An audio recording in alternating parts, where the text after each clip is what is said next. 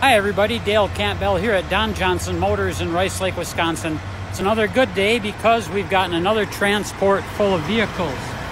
This whole load is ours. So we've got a Canyon on there, there's an Envision, another Equinox. We've got three sold ones on there. So that silver uh, Chevrolet 2500, that's sold. The Trail Boss in the belly is sold, and the LTZ in the back is sold. But there's an AT4 back there. It's a half ton, that's available. So some nice new vehicles are arriving today at Don Johnson Motors. So if any of them are appealing to you, give myself a call. You can reach me here at Don Johnson Motors at 715-475-1414. Thanks for stopping by today.